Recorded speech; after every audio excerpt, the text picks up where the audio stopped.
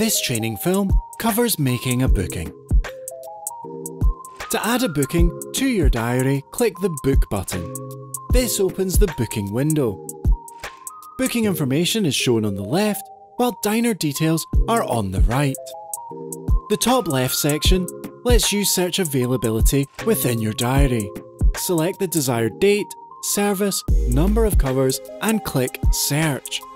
You can also search availability of other venues within the group, specify a specific area, or set a custom booking duration. Availability in your venue is based on several factors. The number of empty tables, the number of bookings or covers you allow per time interval, and any booking rules that you have in place. The diary will choose the right table based on your customizable table rankings, meaning the diary can be adapted to match your operational needs and maximise all aspects of your service. Available time slots will be blue. Time slots where making the booking will exceed the covers or bookings allocated to your yield management are in red. Orange indicates the booking will break a rule. For example, placing a booking of 2 on a table that can hold 4. Permissions can be set to allow certain diary users to break these rules. With a slot selected, you can add information that is relevant only to that booking. Booking codes are a customizable shorthand to quickly add common details to the booking. Booking Notes is an open text field where any relevant information to the booking can be included.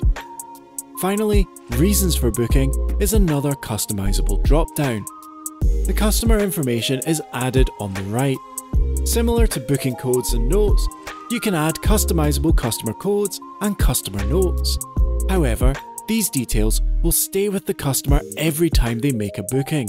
This is a great way to quickly add information, helping your team anticipate a specific customer's needs. In the Details tab, you can collect further information about the customer. This information can be used within ResDiary reports and also shared with an integrated CRM system, meaning that ResDiary is an extremely powerful data collection tool that can be used to better target your marketing. You can set up the diary to ask for card details to protect against no-shows, based on certain criteria. This will open the payments window and a pop-up to enter card details. You'll also be able to add a deposit, card details and take a range of payment options. The payments window can be accessed via the payments button.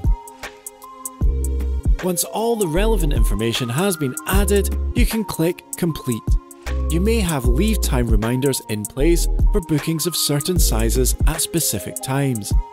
The pop-up shows the leave time to quote to your customer before completing the booking.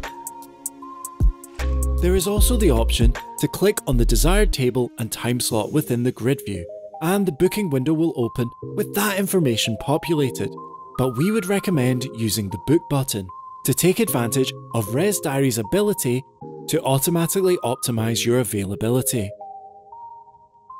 Editing bookings is covered in its own film. Other films will cover the grid view, advanced diary features, and how to get started with the diary.